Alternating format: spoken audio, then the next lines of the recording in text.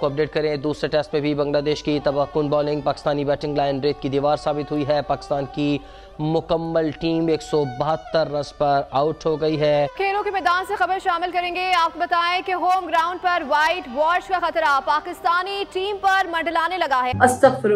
तौबा तौबा। हाय हाय। वो जी, जी। यार ये कौन सा गेम आप खेल रहे हैं? क्या गेम खेल रहे हैं आप? पड़ी है नंबर वन टीम होते हुए हमने ये बेइज्जती और ये बर्बादी कल हमने उठाई है। सबकी कप्तानी सबकी कैप्टनशिप और सबका खेल जो है ना जो ये खिलवाड़ कर रहे हैं खुलकर सामने आना चाहिए। कोई आसमान नहीं गिर जाएगा सारे कह रहे हैं कि तारीख में कभी नहीं हुआ कि बांग्लादेश से यार आप सीरीज़ हार जाएँ। मैंने नहीं कभी सोचा था। खैर मैंने तो कभी ये भी नहीं सोचा था कि हम आइलैंड से हार जाएँगे। मैंने तो ये भी नहीं सोचा था कि अफ़गानिस्तान कोट लगाएगा। मैंने तो ये भी नहीं सोचा था कि अमेरिका पहला मैच खेलेगा और हमें उड़ा देगा। लेकिन सब कुछ हो रहा है। लोग क्या रिज़ल्ट दे रहे हो पाकिस्तान के फैंस को? क्या खुशी कब मिलेगी? कल एतवार था कल एतवार को भी हम रो रहे थे परसों सैटरडे था हम परसों भी रो रहे थे। जुम्मे वाले दिन मैच शुरू होना था बारिश हो रही थी तब भी हम रो रहे थे। अब मुझे बताओ इस टीम के अंदर किसी नाम निहात पटखों की ज़रूरत रहती है? वो हफ़्ते के सात दिन होते हैं उन सात दिनों के अंदर कोई एक दिन तो पाकिस्तान क्रिकेट टीम अच्छा ले आए हमारे लिए कि जिसमें हम इनकी तारीफ़ करें। कितनी मुद्दत हो गई है मुद्दत।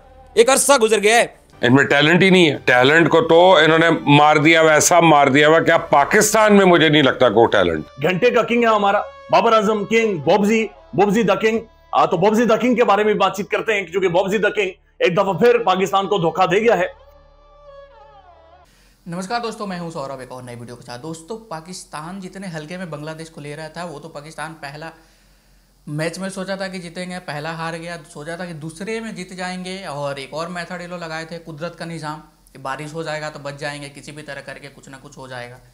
लेकिन भाई, वो भी दिख, होता हुआ नज़र नहीं आया, पहला दिन ज़रूर बारिश हुआ, लेकिन दूसरे दिन से जो बांग्लादेश ने इन लोग का उखाड़ पछाड़ किया है, कि भाई, पहला दिन पाकिस्तान बनाया रोध होके 274 उसके बाद फिर दूसरे दिन रोध होके पाकिस्तान बनाया 172 और टोटल टारगेट 185 को बांग्लादेश को मिला है अब।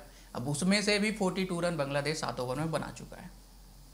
अब इन लोग का रोना धोना अब स्टार्ट हो चुका है तो चलिए देर न करते, सबसे पहले इन लोग का वीडियो का देखते हैं और अगर वीडियो अच्छा लगा तो वीडियो को लाइक ज़रूर से कर दीजिएगा।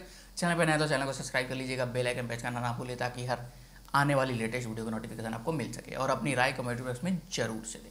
तो चलिए सबसे पहले इस वीडियो को स्टार्ट करते हैं, फिर मिलते हैं वीडियो में। मोहसिन नकवी साहब ने सर्जरी करनी थी। सर्जरी कर ली उन्होंने। बड़ी इफ़ेक्टिव सर्जरी है। वो सर्जरी जो कुर्बानी से पहले बकरों की की जाती है। मोहसिन नकवी की आप अकल और दानिश देख ले कि जैसन जिलेस्पी को रख लिया कोच, जिसको कितने साल हो गए कोई टीम हाथ नहीं लगा रही। आप ये सारे देखें कि किस किस ने इनमें से बांग्लादेश की लीग खेली है। कल गंद हुआ, ये कल नहीं हुआ। ये बहुत पहले गंद हो गया था। क्यों? बांग्लादेश में लीग खेलने कौन कौन गया? सबके नाम निकालने और जब मैं हिसाब माँगता हूँ तो कहते हैं नोटिस नोटिस भेजेंगे भेज नोटिस भेज।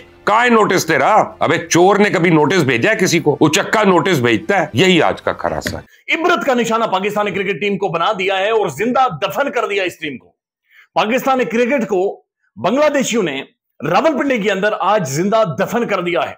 एक तो पिंडी स्टेडियम के अंदर जाकर किसी बंदे ने इस टीम को मुँह नहीं लगाया। मुफ़्त टिकट दे रहे थे, मिनते कर रहे थे।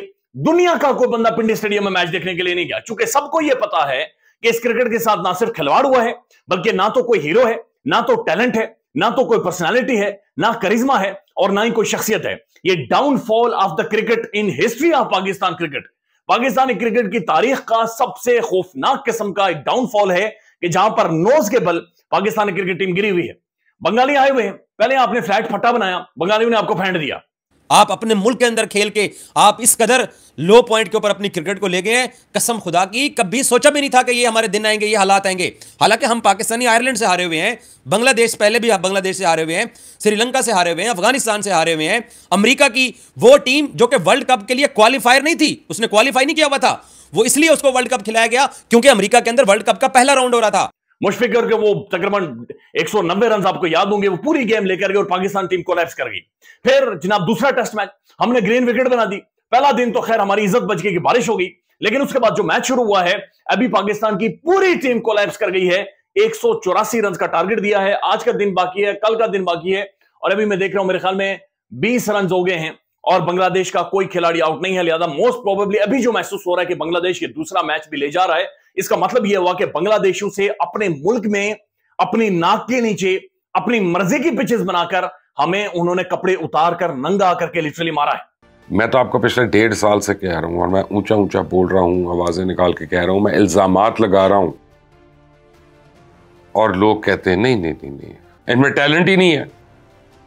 टैलेंट को तो इन्होंने मार दिया, वैसा मार दिया हुआ, क्या पाकिस्तान में मुझे नहीं लगता कोई टैलेंट है?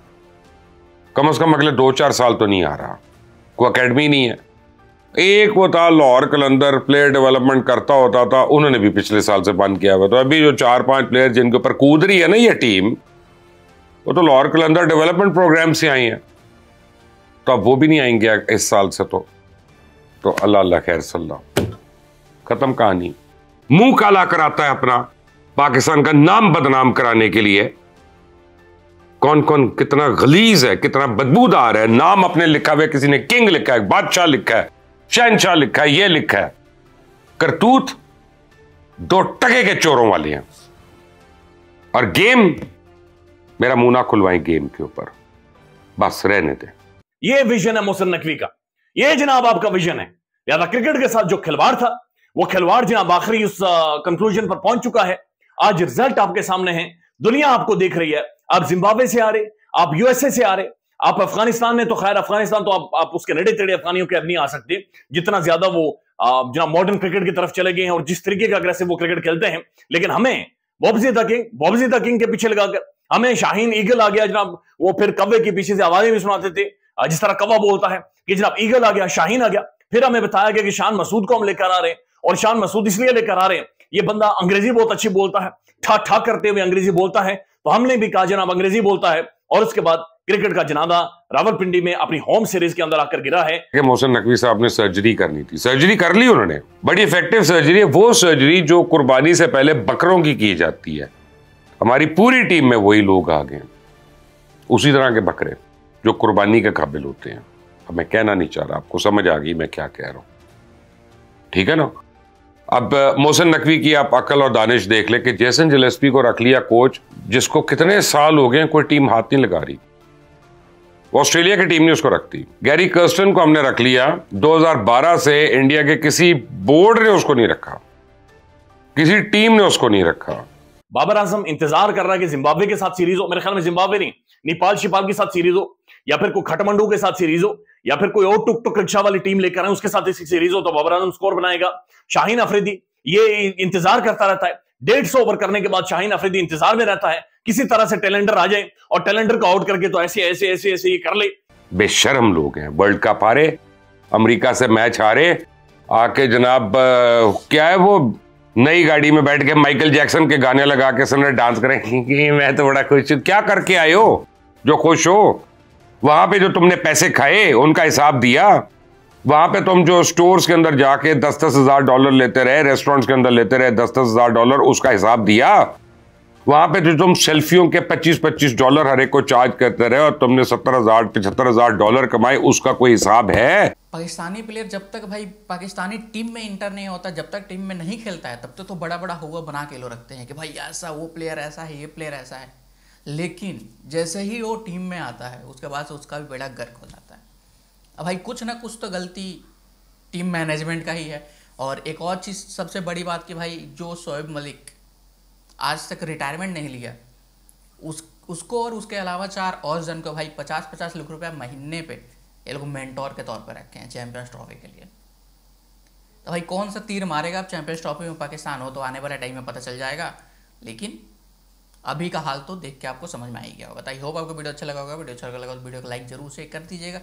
चैनल पर नए तो चैनल को सब्सक्राइब कर लीजिएगा। बेल आइकन प्रेस करना ना भूले ताकि हर आने वाली लेटेस्ट वीडियो का नोटिफिकेशन आपको मिल सके। मिलते किसी अगले नेक्स्ट और मज़ेदार टॉपिक पे तब तक ले जय हिंद, जय भारत।